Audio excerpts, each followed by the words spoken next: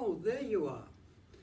Okay, the AirTag has returned. So let's uh, see which way it took from Singapore back to Darwin. And um, I will put that little clip together.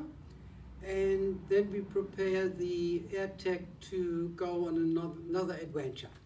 So here is the parcel that has arrived this morning and uh, now we have to extract the AirTag out of it and then uh, send it on on its merry ways. Okay, I'll keep you posted. See you then. Bye bye. Okay, here we go. That um, AirTag went from the Singaporean Post Commercial Logistics Center back to the airport and at the airport um, it went uh, right up to Terminal 1 and gate D32.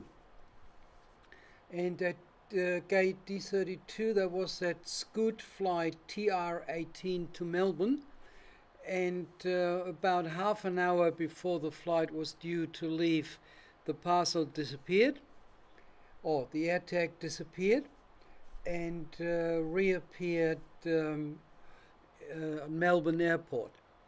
So I followed the plane via uh, Flightradar24, the takeoff and then the flight and then the landing in Melbourne.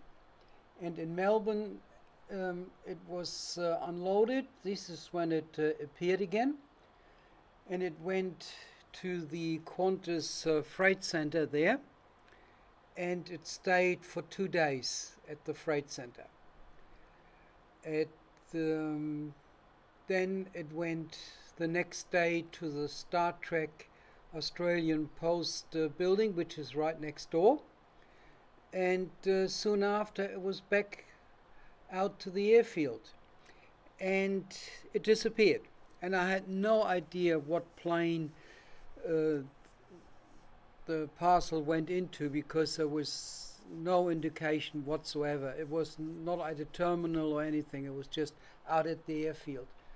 And then it reappeared at um, Brisbane Airport in the freight section. And then it went in Brisbane to the um, to the Qantas Freight Center, and it stayed overnight there. And the next morning, I could see it going um, to the um, back out to the airfield and then I figured out it was flying on QF 826 to Darwin. And sure enough, it uh, reappeared at Darwin Airport. And at Darwin Airport, it um, went to the Qantas Freight Center. And the next day, it went to the Winnellie Post Office stayed overnight at the Winnellie post office, and this morning, obviously, a delivery van picked it up, did the rounds around Darwin, and uh, I saw this places where the AirTag uh, did announce itself, have probably done a lot more than what I found. Um, and uh, soon after, it was delivered. So we have it back in the office. There you go.